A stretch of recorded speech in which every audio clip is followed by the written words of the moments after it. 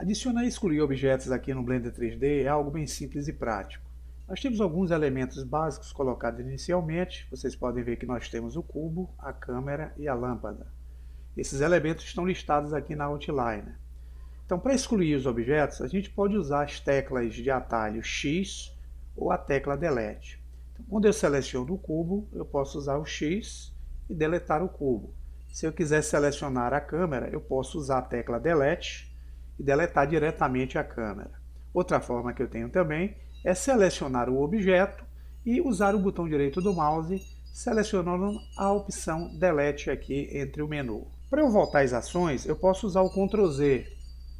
Veja que eu trago de volta todos os objetos com Ctrl Z. Outra forma que eu tenho também de deletar e excluir os objetos é vindo aqui na Outline, selecionando-os individualmente. Vocês podem ver que quando eu clico sobre cada descrição, eu seleciono o objeto desejado. No caso, se eu quiser apagar o cubo, uso o botão direito e uso o Delete para apagá-lo.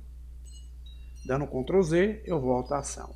Para acrescentar objetos, eu tenho que notar a posição em que se encontra o cursor 3D. Então, eu vou apagar esses três objetos aqui, fazendo a seleção retangular deles três e usando a tecla X, Delete.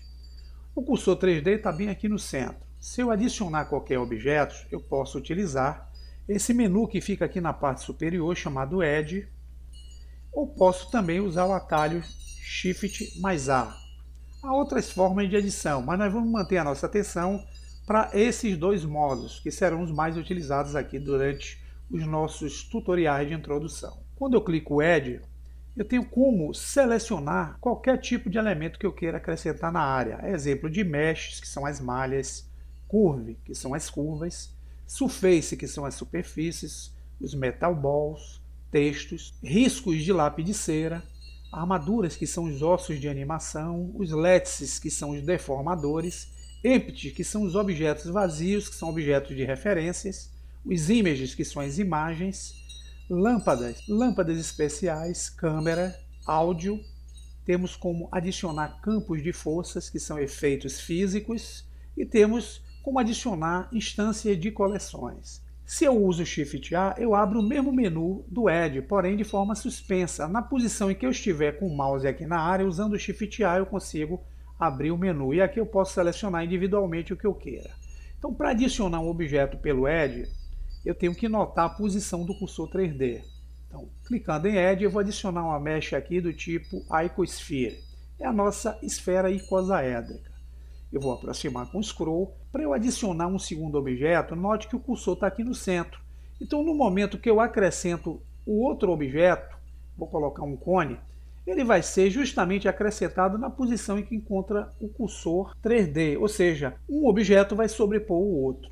Então, para eu poder fazer com que esse cursor 3D se desloque desse ponto para eu poder adicionar o objeto em outra posição, é necessário que eu venha aqui na barra da esquerda clique no ícone de cursor. Com isso eu desativo a seleção e passo a ter, com o clique esquerdo do mouse, a posição do cursor aqui na área espacial. Então, clicando com o botão esquerdo, eu mudo a posição do cursor.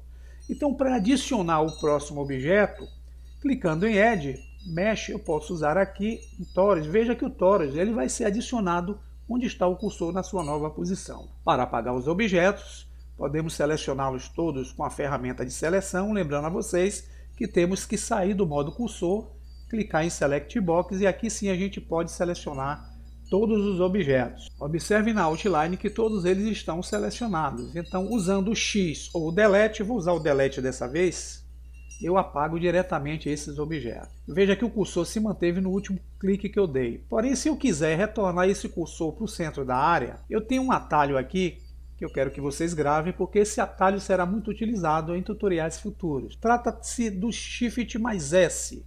Representa a abertura do menu suspenso chamado Snap Tool. Para eu poder colocar o cursor no centro da área, eu tenho essa opção aqui, cursor Toward Origin. Eu vou usar essa opção. Quando eu clico, o cursor se desloca bem para o centro.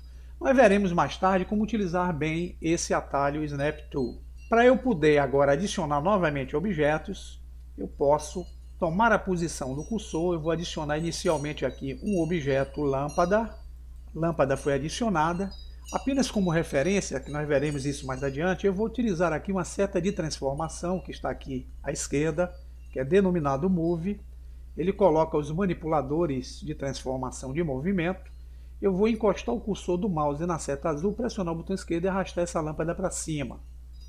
Eu vou selecionar agora a seta verde e vou trazer a lâmpada para esse ponto aqui da direita. Vamos adicionar um outro objeto, usando o Edge ou Shift A. Se eu usar o Shift A, eu posso selecionar aqui a câmera, clicar em câmera, eu vou encostar o cursor na seta azul, arrastá-lo para cima, na seta verde, arrastá-lo para cá. Para poder rotacioná-lo na direção do centro, eu vou usar agora outro transformador, que é o transformador circular. Não se preocupe com isso agora, veremos mais adiante. Por último aqui, eu vou adicionar, clicando em Select Box aqui para sair do transformador, com Shift A, uma mesh do tipo Cube. Tá aí aquela nossa cena inicial de Blender 3D. Posso selecionar também individualmente cada objeto. Eu posso selecionar o cubo. Com o Shift pressionado eu posso selecionar a lâmpada. Se eu quiser excluir, posso usar X, Del ou então o botão direito, selecionar Delete, apagar o objeto. Fica aí o nosso entendimento e a partir do próximo tutorial começaremos a ver aqui ponto pivô e as suas manipulações.